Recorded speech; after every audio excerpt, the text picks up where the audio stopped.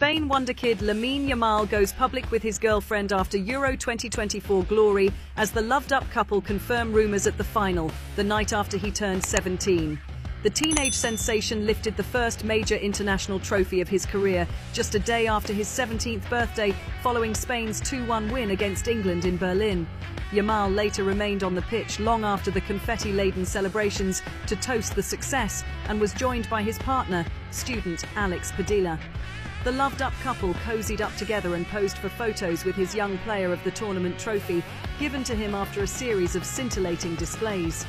Padilla, a social media influencer with over 300,000 followers on TikTok, supported her boyfriend by wearing a Spain jersey with his name and shirt number on the back.